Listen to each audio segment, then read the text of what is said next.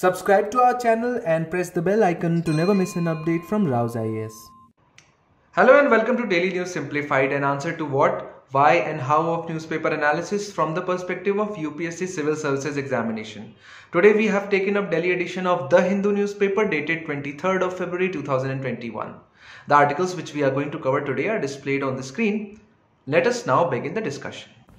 Sedition lies in the effect not in content appears on page number 7. So as we all know that activist Disha Ravi has been sent to a fresh one-day police custody in toolkit case. And the Delhi police had registered a sedition case earlier this month over this particular instance. And that is why Mr. Satvik Verma, who is also a lawyer, has written an article articulating his views and opinions on the matter of sedition in India. He has discussed some of the important Supreme Court judgments, for example, Kedarnath Singh versus State of Bihar. And so what we have done is that we have accumulated everything in one discussion. First, we are going to understand what sedition is what are the different meanings of the sedition, what are the explanation to section 124A of Indian Penal Code through which the sedition derives its legislative backing, how it has been applied so far as far as famous instances in past 10 years are concerned, the Supreme Court cases and their implications on how the sedition cases are to be processed, and then finally is there a case for sedition to stay or to go? And finally, what can be the way forward? Now, sedition, since it is in news always, can be a very, very important topic for mains 2021. And so, let us now begin the discussion. So, before anything, let us just first understand the meaning of the word sedition. Sedition is a very particular term which denotes an act which is an incitement of discontent against the government or an act which leads to rebellion against the government. Or in other words, any action, especially in speech or writing, which promotes discontent or rebellion against the government. Now that is problematic even in a democratic setup because in democratic setup, the Constitution of India lays down a procedure through which a government is formed and it also at the same time lays down the procedure through which a particular government can be removed. Apart from that, various mechanisms being provided in the constitution and law provide for enough safety mechanisms so that the government actions can be challenged. And so it is safe to assume that a lot of checks and balances have been provided not only within the institutions but also to the common public through which all illegal and immoral actions of the government can be challenged and can be stalled. And so the idea behind the sedition law is that if so many mechanisms have been provided in the hands of the citizenry, there is no need for the citizens to rebel against the state or against the government. Now, the problem over here is that there is a very thin line between the criticism of a government or a state and incitement of discontent or leading to rebellion. And that thin line is where the problem and issues of uses and misuses with respect to the sedition law comes into play. And let us understand how the wording of section 124A of IPC, which provides for the penalty against the sedition, comes into play. So section 124A of IPC creates mechanism to check sedition in our country. And you should be surprised to know that it was introduced by British Raj in 1870. Now the problem is not that it was introduced by Britishers. Because a lot of laws which we use currently have been introduced by Britishers. But the problem is that it was introduced by Britishers in order to check the nationalist movement, in order to arrest and send the freedom fighters to jail. And that's where the problem lies. We are continuing with the law which was enacted to curb our own freedoms. And since independence, we have still stuck to the same law which Britishers themselves have repealed. So let us now look at section 124A and see what it talks about. Whoever, by words either spoken or written, or by signs, or by visible representation, or otherwise, brings or attempts to bring into hatred or contempt, or excites or attempts to excite disaffection towards the government established by law in India, shall be punished with imprisonment for life, to which fine may be added. So it starts with whoever, which means it is applicable to anyone. Then the actions being committed by that whoever person can range from speech, drawing, or any other kind of visible representation which either directly brings or which the state or the government thinks is attempting to bring either contempt or hatred or disaffection against the government established by law. Now these words are where the problems start. Although section 124 of IPC contains few explanations as well. So this explanation number one says that the expression disaffection includes disloyalty and all feelings of enmity. So whenever an action induces disloyalty in the citizens, the provisions of section 124 or the sedition can be applicable. But there are two other sets of explanation which try to put a limit on the misuse of the sedition law, which is comments expressing disapprobation of measures of the government with a view to obtain their alteration by lawful means without exciting or attempting to excite hatred, contempt or disaffection do not constitute an offense under this section. And similarly, criticism of administration through lawful means shall not be considered as sedition.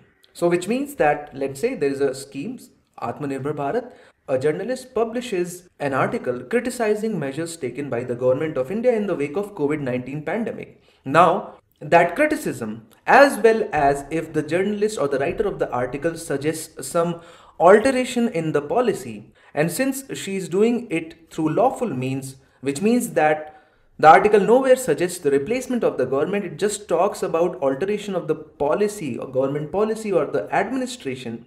It shall not be counted in sedition. So now the cursory reading of this particular section, the provision against sedition, will lead you to believe that everything is good and there is no problem and so why the fuss? And to judge the efficacy of any law, you have to look at its applications. And now let's see few of the prominent cases in past 10 years and see how in reality the provisions of the section 124A have been used by various state governments. Starting with arrest of Asim Trivedi in 2012. So cartoonist Asim Trivedi was arrested in 2012 because he had published few cartoons on politicians. Then in 2012 and 13, we know that a lot of protests were going on in Tamil Nadu against the Kudankulam nuclear power plant. And the sedition case was filed against almost the complete village which was protesting against this particular nuclear power plant.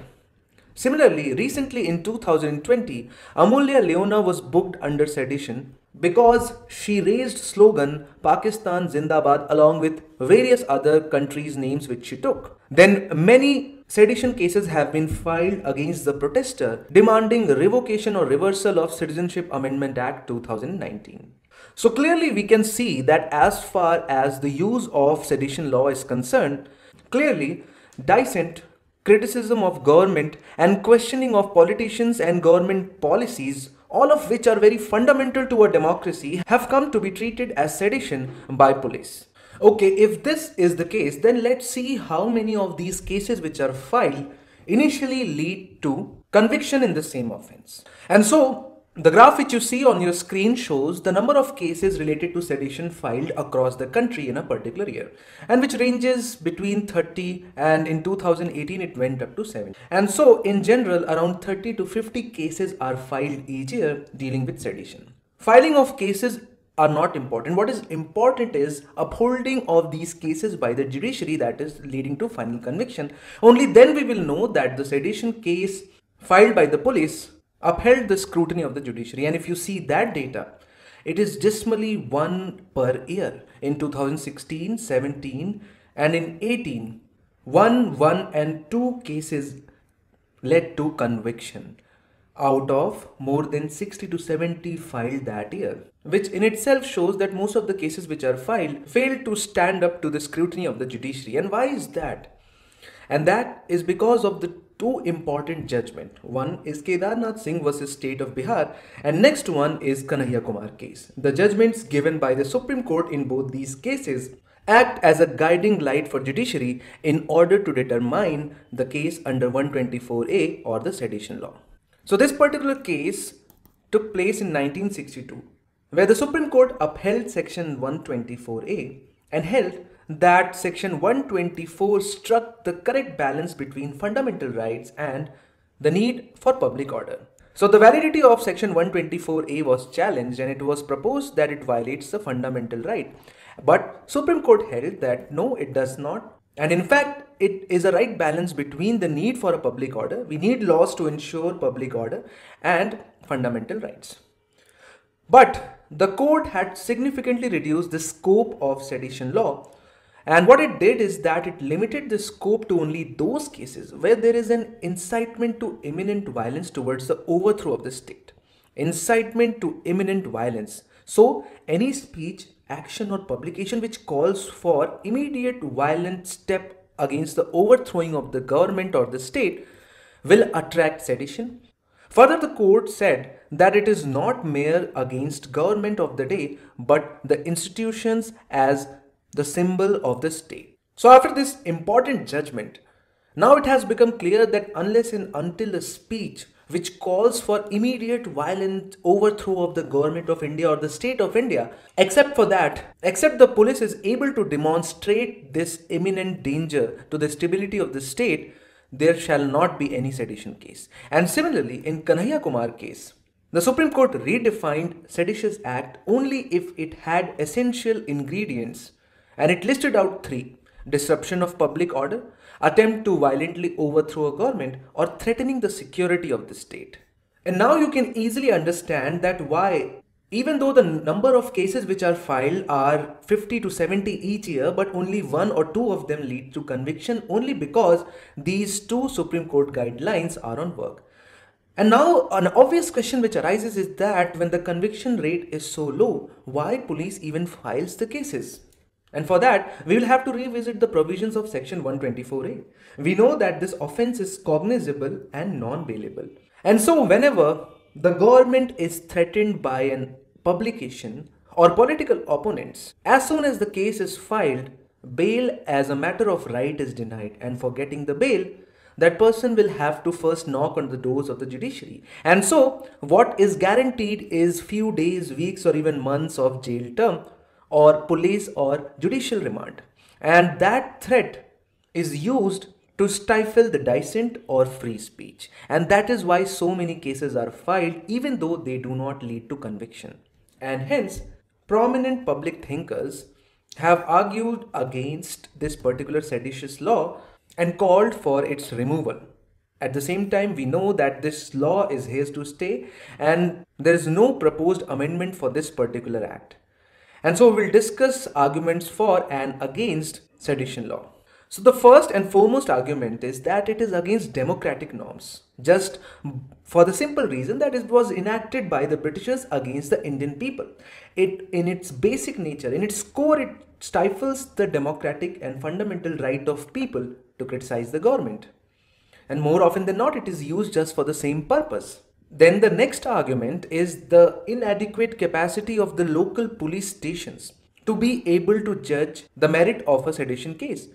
We know that the cases are filed by the police and the police might not have the requisite training to understand the consequences of imposing such a stringent provision. They might not be able to understand the nuances of section 124A it is very difficult to understand the difference between expressing disagreement with the government policy or expressing disloyalty towards the government. And both can be mistaken and so we don't have such capacity of state machinery. Then just for the simple reason that it has been misused more often than it has been used. As we have seen with examples, it has been used arbitrarily to curb dissent. In many cases, the main targets have been writers, journalists, activists who question government policy and the projects, and even political dissenters. Then, as the crime, as we have seen, is non bailable and punishment can extend for life, it has a strong deterrent effect on dissent, even if it ultimately does not lead to conviction. And finally, since this provision has been mostly used to gag the fourth pillar of our democracy, that is the press, just this simple reason that most of the cases have been filed against the journalist is a strong enough reason as an argument and a strong argument against sedition law. But it's not as simple as it seems. There are some very solid points which indicate or which because of which the sedition law is still in existence. So, against the argument that it is a draconian law, the people who argue in favor say that it is not really a draconian law anymore. Because now we have Supreme Court guidelines which have narrowed down significantly the jurisdiction of sedition law. And it can be applied only on grounds laid down by the Supreme Court. So the draconian nature has been curtailed. And so there is no need to dilute or remove it. Then for all those people who say that this particular sedition law violates the fundamental right to free speech, the argument can be made out that Article 19.1 provides for various kinds of freedom, but Article 19.2 provides for reasonable restrictions. And if you see, safety and security of India and any law enacted to preserve that comes under the reasonable restrictions and will not be void of Article 19.1. And so, sedition law is actually an application of reasonable restriction provided for in 19.2. Then the argument that it curbs the free speech also does not hold according to some people because the explanations given in section 124a have made it very very clear that one can use any kind of strong language in criticism of government policy, schemes and actions without inviting sedition. Such freedom or dissent should not be turned into some kind of persuasion to break the country itself. And so that is why it is important to have a sedition law. And then one of the strongest argument comes from the existence of anti-national elements. In our country, we have terrorists, Naxals, who not only incite violence against the government, but also produce literature which tries to sow the seed of disaffection against the Indian state. And so, due to the presence of anti-national elements and divisive forces such as Naxalites, separatists, it is important to have such a provision in law. And finally, for any law, the misuse can never be discounted. Starting from anti-dowry provision to, to provisions to penalize the murder, all have been misused and mere misuse of a law cannot be ground for its repeal.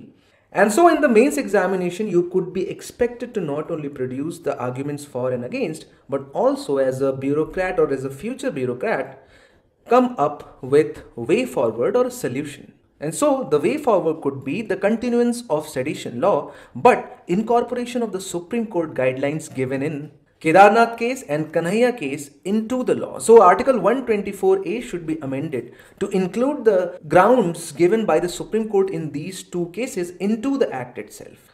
Then there is a need for sensitization of the police or police training. They should be sufficiently guided as to where the section must be imposed and where not. And finally, there is a need to include provisions where the government can be penalized if the action if this particular section is misused. This will ensure that section 124A of IPC strikes a balance between security and smooth functioning of the state along with fundamental right of freedom of speech and expression preserved. So this particular topic of sedition becomes very very important from the perspective of GS paper 2 where you could be expected to reproduce arguments both in favor as well as in against of sedition and is there a need to continue with the same law. So you will first start with a very very brief introduction as to what sedition means. What has been the controversial applications of this particular law which has brought this particular section into the news? What have been important Supreme Court judgments and then arguments in favor against and then finally way forward. All of this compressed in 250 words. Let us now move on to the next discussion. So this next article which we have taken for discussion appears on page number 1 as well as page number 8. Xi may visit India for BRICS summit.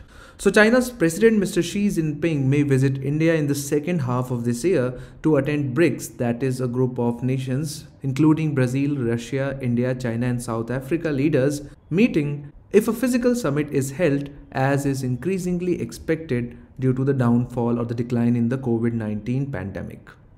And so in this respect, overall perspective on BRICS nations are very, very important. Because it clearly forms the part of GS paper 2, wherein the portion of international relations bilateral regional and global groupings and agreements involving india and or affecting india's interests become very very important.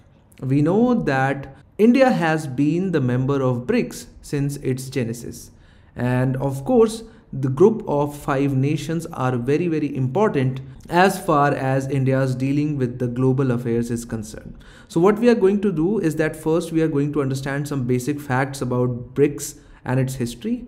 Then we are going to understand whether it has some of the achievements in its kitty or not. And then finally we will look at challenges which the BRICS is increasingly facing.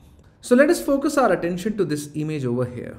So BRICS as a group of nations is quite unique in its genesis because it was not formed due to initiative taken by the member countries, but rather the term BRIC was first introduced by British economist Jim O'Neill, who was the then chairman of Goldman Sachs Asset Management in 2001 when it had become clear that Brazil, Russia, India, and China were the emerging global and financial giants. And so at that point of time, South Africa was not included in these four groups and it was just a BRIC group of nations. He coined the term to describe the four emerging economies of the world. He published a paper, The World Needs Better Economic BRIC, for the Goldman Sachs Global Economic Paper. And in his paper, he made a case for break on the basis of econometric analysis, projecting that the four economies would individually and collectively occupy far greater economic space and become among the world's largest economies in the next half century or so. And when chairman of Goldman Sachs says something, even the countries listen. And because of that, by the time 2006 came, the four countries began to have regular meetings. It began with the four foreign ministers at the United Nations General Assembly meeting. Then again in 2006, the President of India, Brazil, China were invited by the leaders of Group 8 nations to participate at G8 Outreach Summit in St. Petersburg in Russia. At that time, G8 used to include Russia, now it is just G7. Then in 2009, Russia hosted the first official BRIC meeting with heads of state of four countries. Then in 2010, BRIC became a formal institution. With this formalization, BRIC had become a formal force for the global political and economic transformation. And then finally, South Africa became a member of the bloc in 2011 and as the only African country in the bloc, South Africa also represented the voice of the continent. So, this is a very brief history of BRICS. And as we know that it was formalized in 2010, so it is around more than a decade or around a decade since the BRICS is functioning. And so it is a decent amount of time to reflect upon its achievements. So as we know, one of the important reasons why the BRICS nation came together was the article or the paper written by Mr. Jim O'Neill. But apart from that, it took six to seven years from there to form them a group was because of the 2008 financial crisis. And so one of the main reasons for cooperation to start among these BRICS nations was the financial crisis of 2008. The crisis raised doubts over the sustainability of the dollar dominated monetary system. And so the BRICS nation called for the reform of multilateral institutions in order that they reflect the structural changes in the world economy and the increasingly central role that the emerging markets are going to play. And so that is reflected in minor reforms being carried out by IMF. Because BRICS managed to push for institutional reform which led to the IMF quota reform in 2010, which was finally implemented of course in 2016. So this is one of the good achievements which we can cite in favor of the BRICS nations. Then the establishment of two good institutions, New Development Bank and Contingency Reserve Arrangement, has been one of the bigger reforms. Now New Development Bank, as we all know, was founded at Fortaleza Summit in 2014 and it was formed to support infrastructure and sustainable development efforts in BRICS and other underdeveloped and underserved regions. Now you can totally understand that this quite resembles and can be counterposed to World Bank. So when these global south nations, the nations belonging to the global south came together, they started developing institutions which can be counterposed to the Bretton Woods institutions like World Bank and IMF. So if you look at the performance, NDB has so far approved 14 projects in India amounting to around $4 billion. Apart from that, there is CRA or Contingency Reserve Arrangement that has also been established by BRICS nation because they understood the increasing instances of global financial crisis and because of which the BRICS nations signed BRICS Contingency Reserve Arrangement in 2014 again in Fortaleza that was the 6th BRICS summit. Now, this particular arrangement aims to provide short term liquidity support to the members through currency swaps to help mitigate balance of payment crisis situation and further strengthen financial stability. Now, if New Development Bank can be counterposed to World Bank, you can easily guess that CRA is some kind of a mirror or an alternative to IMF. But having said all these things, Having understood the significance of BRICS, but still, the BRICS is not being able to play the role, the kind of role it was envisaged. Because there is a lack of coherence in these countries, and there are five to six very good reasons for that. And one of them is the dominance of China in overall BRICS scenario. China is not only the second largest economy of the world, but has one of the most powerful armies and is also increasingly asserting as far as geostrategy is concerned. We don't need to go into those discussions. If you have watched DNS regularly, you must be knowing in what ways China is asserting itself. And the recent standoff with India is one of the best example. And in BRICS, if India and China face territorial disputes and there are chances of flare ups, you cannot expect that group to act in a cohesive manner. Then, apart from that, BRICS has a very narrow scope. So one of the two most concrete results which the BRICS has yielded is New Development Bank and Contingency Reserve Arrangement. And as a counter to that, China is laying too much emphasis on Belt and Road Initiative in which China has unilateral say. Whereas the summits of BRICS have been quite vague and unconclusive. They mostly focus on people to people cooperation, political interaction, educational and research cooperation, which to be very frank, would not pay a lasting dividend in creation of an institution which can counter to the developed institutions like Bretton and Woods Agreement. Then, of course, as compared to other regional and multilateral institutions, it has quite restricted base of just five nations. It is not flexible for the entry of new nations into the group, and hence it faces the problem of reach as far as Global South is concerned. Then, if you look at overall grouping, it's quite incongruous. Incongruous in the sense of political systems they follow. For example, from active democracy in India to oligarchy in Russia and communism and totalitarian regime in China, it's quite incongruous. And if you look at other successful organizations, for example, G7, all of them are developed as well as they are quite near to the truest form of democracy which is practicable in the current context. Then, on many of the global issues, they have different opinions as far as the members of the BRICS nations are concerned. Just take the example of UNSC reform or entry of newer nations into nuclear supplier groups. They always have contradictory or conflicting opinions. And then finally, apart from the minor or minute reform of IMF, most of the other agendas of BRICS have not yielded any successful result just because they were not pushed enough or pursued enough by the BRICS nations. So these are the challenges because of which the BRICS is not able to play the kind of role it was envisaged. So from the perspective of prelims examination, some of the information related to BRICS are very, very important. And apart from that, challenges and achievements become important from the perspective of mains examination. Let us now move on to the next discussion. So the next news which we have taken up appears on page number 13. Maldives Parliament debates defense deal with India. Now, so the context is that Male and New Delhi recently signed an agreement to jointly develop the Maldives National Defense Force Coast Guard Harbour. And in this regard, the Maldives Parliament, which is known by the name of the People's Majlis, took up an emergency motion demanding greater transparency on the bilateral pact. Now, this is a very, very important topic from the perspective of again GS paper 2 international relations, under which India and its neighborhood relations become important. And being the maritime neighbor of India, Maldives has a very, very special significance in India's geostrategy. And so we are going to first understand that significance with respect to India. Then we are going to understand how has been the cooperation between these two nations in the past and then what are the concerns which still plague India and Maldives relations? Let us now begin the discussion. Now, first we will focus on the map and see the location of the Maldives with its capital at Male. A lot of coral islands, it is an archipelago which is very close to the Indian waters.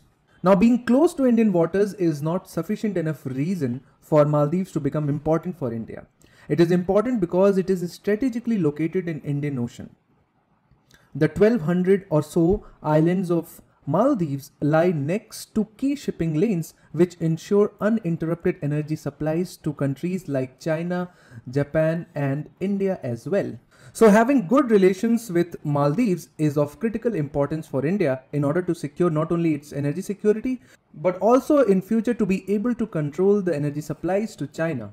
Now, we all know India's preeminent position in South Asia and its image as net security provider in Indian Ocean region.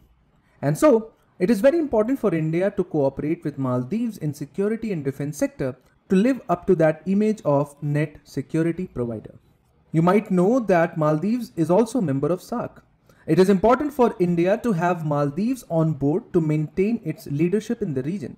Now, relations with Maldives when they were not good in 2015 and 16, and hence it was the only country in the SAARC which was reluctant to Follow India's call for boycott of SAARC summit in Pakistan after the Uri attack. And so you can easily see how important it is for India to keep Maldives on board always. Apart from that, India, especially the Kerala and Lakshadweep islands, share close ethnic, linguistic, and cultural ties with the people. The largest ethnic group is Dhivehin, the people who are native to the region of Maldive Islands, comprising today's Republic of Maldives as well as island of Minicoy and Union Territory of Lakshadweep. They share same culture and speak the same language as well. And so that is why Maldives is very, very important for India. And so in the past, India has always lived up to the expectation and has come to help Maldives. For example, in 1998, when armed mercenaries attempted a coup against President Abdul Gayoom, India sent paratroopers and navy vessels and restored the legitimate leadership under Operation Cactus. In 2004, that was the year when the tsunami struck the Indian Ocean region, India had provided assistance to Maldives and had also supported it during the drinking crisis in 2014. During COVID-19 pandemic, India rushed 250 million dollar aid in quick time. India has also rushed medical supplies from time to time, including food and water supplies. India also maintains a naval presence in Maldives on the behest of Maldives, that is on the request of the Maldives. In return, Maldives has always supported India's claim in major international forums and organizations. And the recent government, the recently elected government, has affirmed Maldives India First policy, which was reciprocated by announcing an assistance package of around $1.4 billion by the Indian government. And so, what could go wrong as far as India Maldives relations are concerned? there are three main challenges or issues in our relationship. The first is since last two decades there is a continuous and gradual enhancement of Chinese presence on Maldivian soil. For example, Maldives signed first country specific free trade agreement with China in 2017, thereby becoming China's second FTA in South Asia after Pakistan. If you consider the overall foreign debt of Maldives, 70% of the foreign debt is owed to China. So you can say that Maldives is in a kind of debt trap with Chinese. Then there has been a growing trend of Chinese companies and individuals acquiring land in Maldives. The land grab is seen in excess of what East India Company had acquired during the colonial period in Maldives. And so this land grab has raised concern of Maldives being increasingly falling into an economic neo-colonial influence of China. Although the new government of President Solih has affirmed that Maldives will scrap the FTA with China and investigate all the Chinese land grabs in Maldives, but due to the debt trap in which the Maldives has already fallen, it seems impossible to do that right now.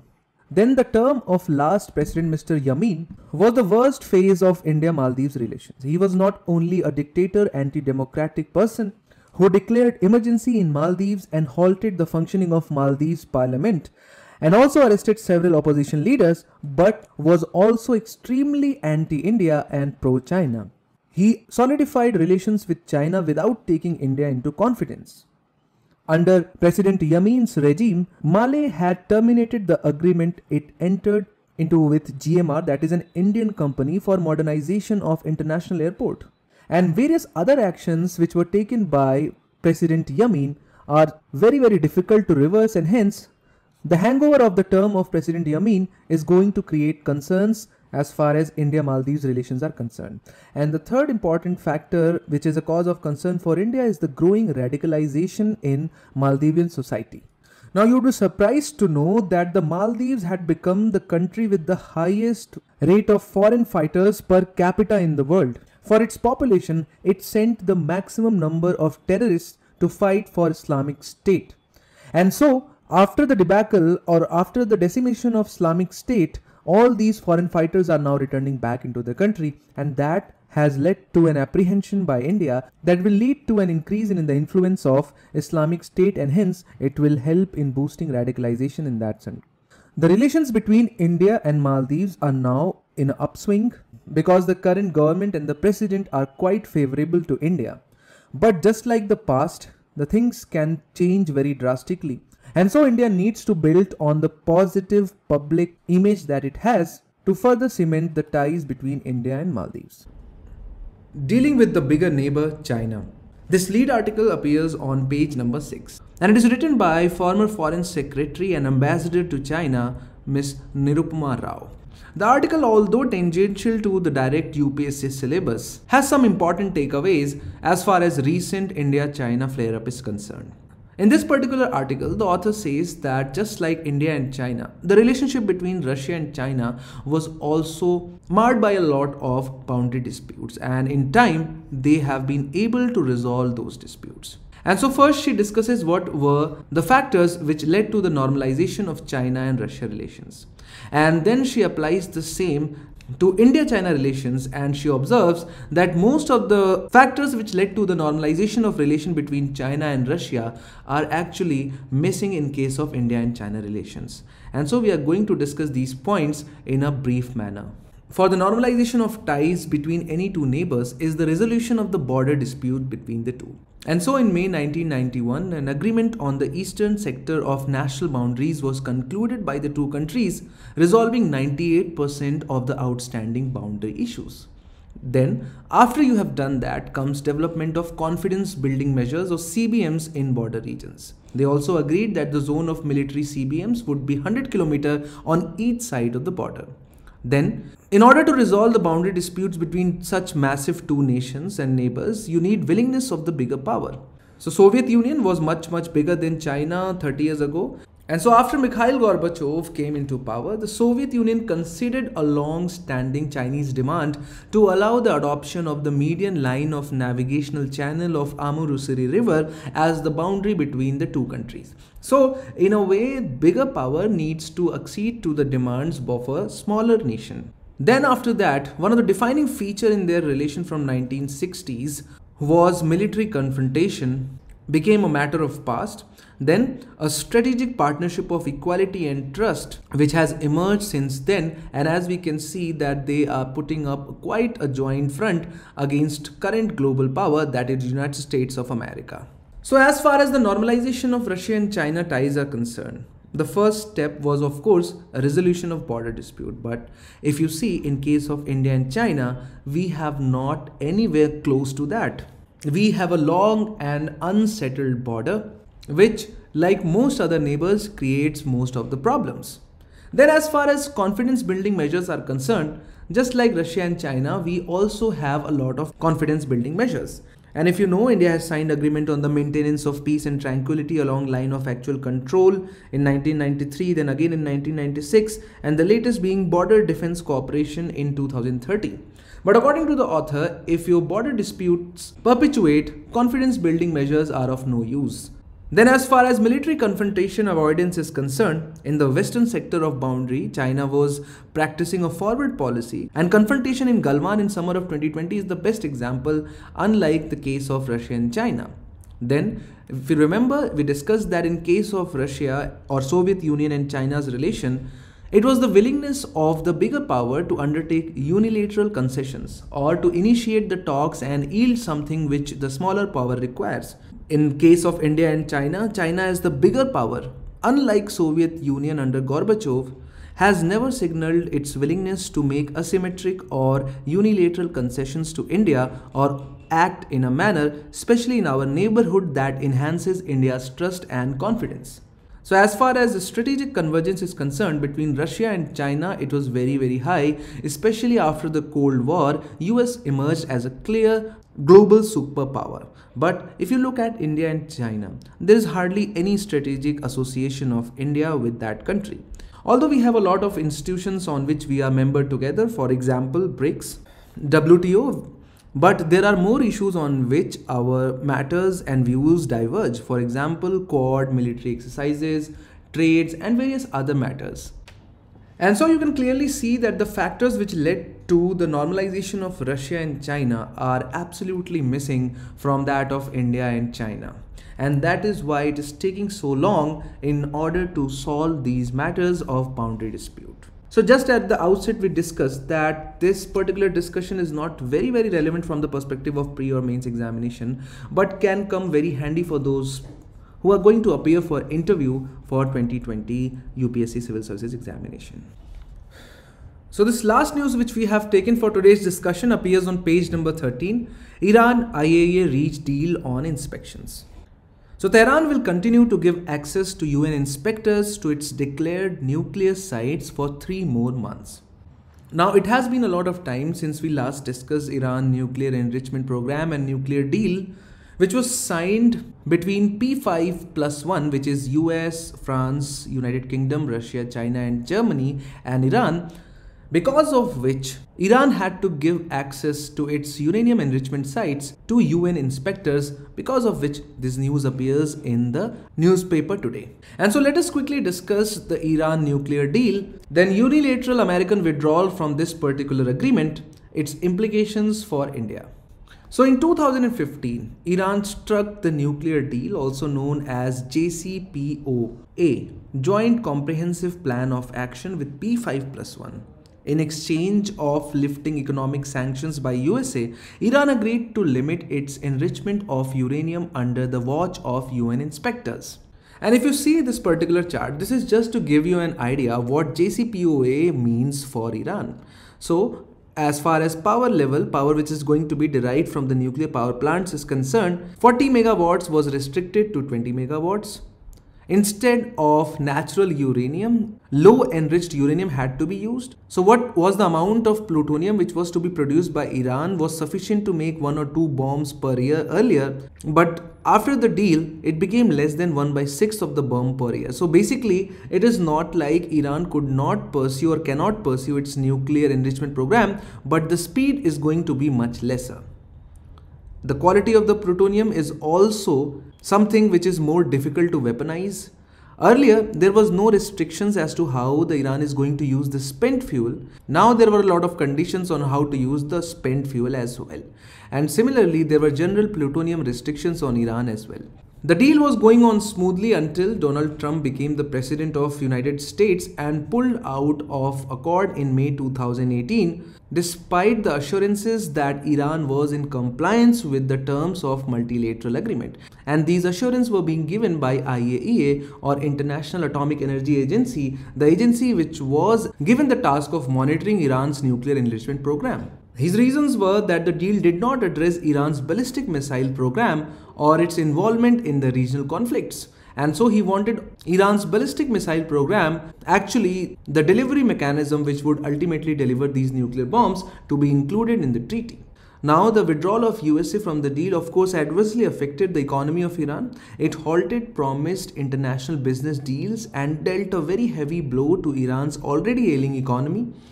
In the time since, the Trump administration has said any country that imports Iranian crude will face US sanctions.